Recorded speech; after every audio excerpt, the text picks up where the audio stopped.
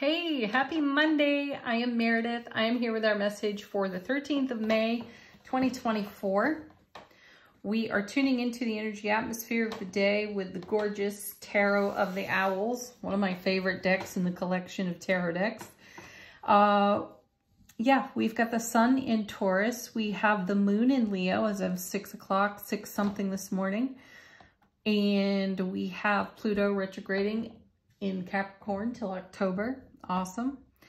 Um, let's see what the cards have to say. It was a wild shuffle, by the way. Cards just whoosh, flew out of the deck. It was amazing. So I really feel like they have a story to tell. And uh, there was a lot of energy in this shuffle. So our first card, what are we starting out with today?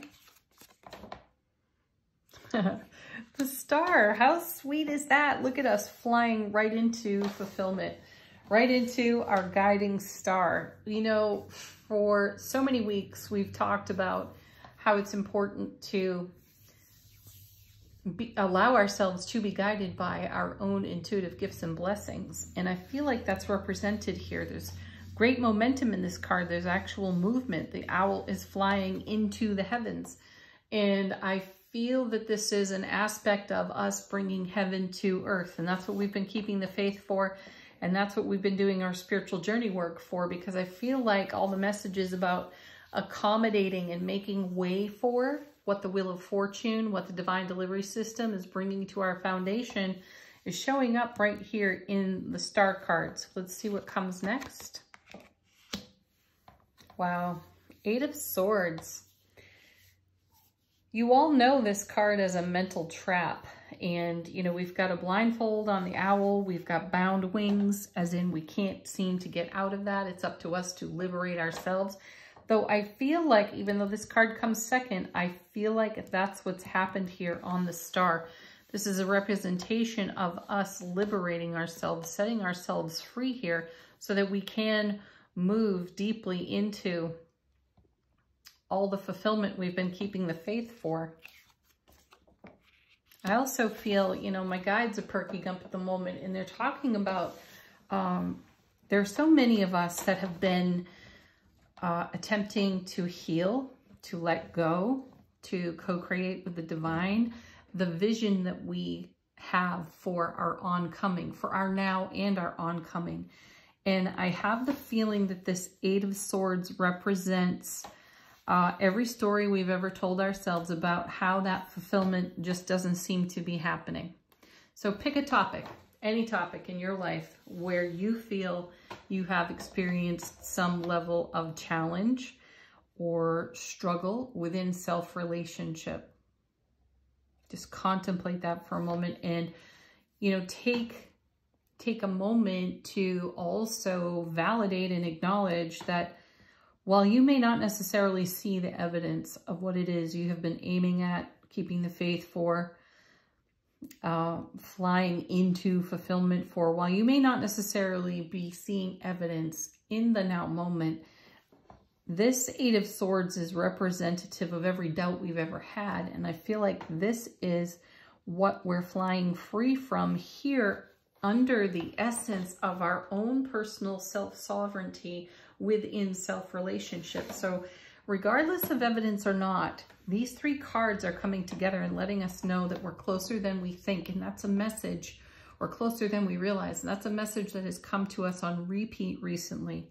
So even if things do not look or appear the way you anticipate them to look or appear in these now moments, there's a great transformation taking place. I feel so strongly that the message of transformation that has followed us for weeks is profoundly manifesting in the now on our foundation. So stay connected to your self relationship in a very deep way. Stay sovereign to the divine connection you have with source and everything that you are in the act of creating fulfillment for and with because evidence is appearing and I feel we've already set ourselves free from this Eight of Swords, which is what gives us flight here in the star card and which gives us the contentedness we witness right here in the nine of coins. Beautiful card. It's it's another one of those messages that says, congratulations, you're at home within your own self. And thank goodness you've been able to expand, to let go, to do it, whatever kind of spiritual journey, healing work that needed doing. And now you've accommodated exactly what you've been in co-creation with the divine for. That's what's revealing itself. That's what's showing up evidence is going to start to appear all over the place. What did I just say? Transformation, right? And there's the death card. Whoa, hello Scorpio. Thank you for showing up in the reading once again. This is exactly it because this is the card where you have a simultaneous completion, fulfillment, ending with a new beginning, a new fulfillment, and a fresh start. It all happens right here in the death card we should be seeing the infinity symbol on this card every time because there is some of each in the other and there's a beautiful cycle and a rhythm to transformation metamorphosis and we are witnessing our own metamorphosis because we're being sovereign within self-relationship and cultivating just the kind of energies that we need to accommodate on our foundation to support our legacy of happiness that's the 10 of coins. That's the 10 of cups. That's all the cups we've seen recently. And they have shown up profoundly. Let's see what's next. Seriously, look at that High Priestess. This is a phenomenon. This happens on this tarot table so often. If you turn over the High Priestess or the Death card, one of them is not far behind the other. and I love this combination because it's great confirmation for us because the high priestess is all about what? Our intuition, our intuitive, psychic, supernatural, soul-powered gifts, right? And we're listening to this voice, this steady, consistent voice that has no doubt, that has total certainty in it. So again, I'm going to repeat for you, those of you who have not seen evidence, you are being invited and asked to lean deeply and profoundly, Scorpio death card, into this gorgeous high priestess energy. Go deep with yourself because it is there where you will find where you have been bound up, you have been blind to your own uh, ego programming, belief system, matrix style energy. You're, you're all about creating your own divine matrix. So that's what's happening here in the star card. And it happens because of transformation, metamorphosis, and the ability to see beyond the illusion in front of you. And on the Eight of Swords, we are dispelling illusion beautifully. Let's see what's on the bottom of the deck. How are we being assisted behind the scenes? By the beautiful multiverse. Our first card is the Ten of Wands.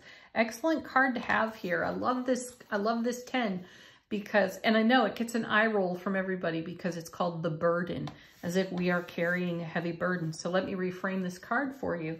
This is the Ace of Wands to the power of 10. What is the suit of wands all about? I share this with you so often.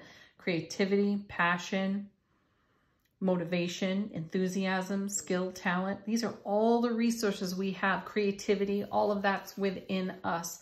And we just have to show up with all of our resources to create everything that we are in fulfillment for here in the main body of the reading. And then we have, oh, so sweet. There's the sun, the happiest card in the major arcana in all of tarot, actually. There's brilliant clarity here. There's truth. There is celebration, love, and happiness. there's courage in this card as well. And there's a very passionate heart beating within this kind of energy right here. So bring your resources into the brilliant clarity, love, bliss, and happiness of the sun and take dynamic action There's number seven out of the major arcana, the chariot, child of the emperor and the empress. And this is a card about not having any hesitation whatsoever to take action on everything that we are in transformation metamorphosis with. And I feel that that chariot is guided by the high priestess here in terms of intuition and using our gifts. We are dynamically diving deeply into our gifts, and that is our momentum. Next, we have the Five of Pentacles. What a stunner of a card right there. You know, this is a card that indicates where we've left ourselves out in the cold. And look, we're, we're on an ice floe over here on the Eight of Swords. So wherever we left ourselves out in the cold manifested itself into the Eight of Swords over here, right? And we're making changes there, big, big changes, because this can't stand. We can't create all that we're dreaming about here under the sun and in the star card as well if we're still sabotaging ourselves. This is why we've got that nine of pentacles so that we get into our self-sovereignty and we do the transformation work that's required so that we can follow the prompts, listen to the inspirations that come out of our gifts. You know, fives are all about change. They have us confront chaos. And in the suit of coins, we're confronting chaos that we've created for ourselves out of old stories, belief system, and programming that tell us manifestation is hard and our dreams are too difficult to create. That's BS and we all know it. And yet, somehow the ego gets away with that and creates a level of sabotage. But we've recognized that. The death card has helped us see that because we've either not transformed or metamorphosized previously, and that came at a very high price, and you can see it in these two cards right here. Five of coins, eight of swords. So why wouldn't we be dynamically, passionately, and with great happiness, courage, and clarity addressing just those energies? Because this is someone else's story that we believed at one time. Let's see what's next. Yeah, beautiful. There's the temperance card. I'll stop. Oh, I was going to say I'll stop there. Look, there's the Emperor. Mm-hmm. How sweet is that? Temperance, Archangel Michael showing up. And this is us blending energies that are not commonly found together. Now, do also keep in mind, we had recent eclipses where rare and uncommon energies come to us. They are, you know, raining down on us from the heavens and we are, we are absolutely transformed by those energies for our own highest and greatest experience. So we're witnessing that here with temperance. It's a reminder there's a lot going on that we don't necessarily know about because how belongs to the universe. How things get done, the way they get done happens on a universal level.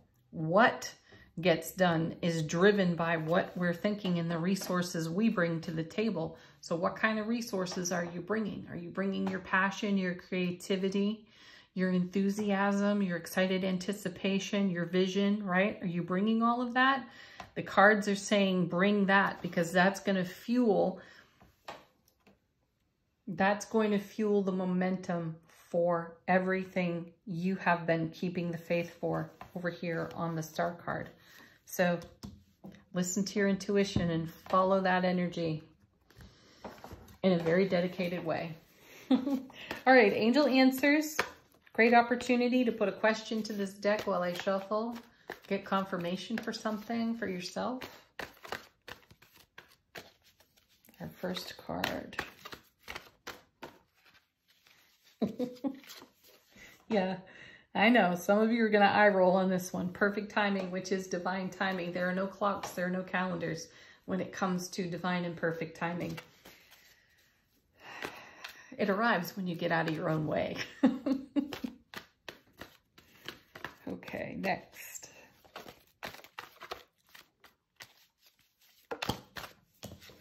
And we have meditation brings answers. I do like seeing this card because this is a reminder that meditation is also an action. So many people are like, oh, meditation, what? I have to go sit and be quiet somewhere? oh, no.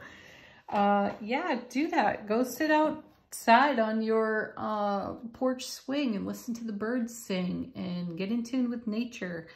And pretty soon you'll be having all manner of inspirations that add to the vision you hold for your own divine matrix. Next, we have ooh, a whole bunch of them falling out.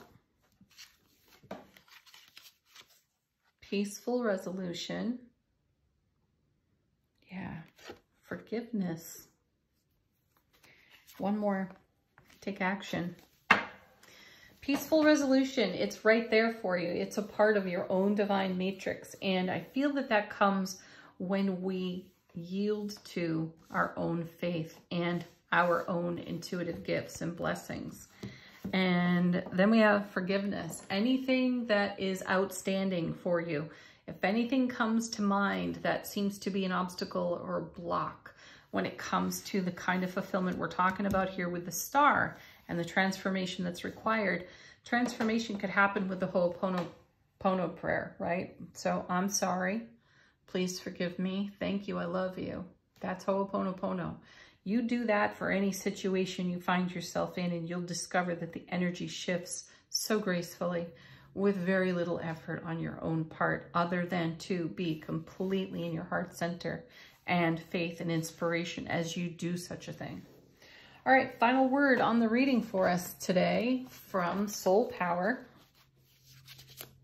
How is our soulful presence informing our waking consciousness?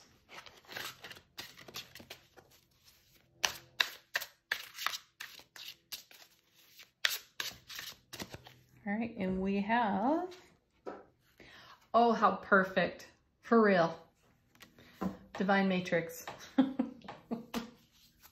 That's the matrix you want to engage, the divine matrix where you make all of your own dreams come true by contributing your joy, your happiness, your vision, your inspiration, and all of your intuitive gifts. You bring it there and let the universe work its magic on your behalf. Have a beautiful Monday, everybody. Thank you, as always, for joining me here. Peace, love, namaste.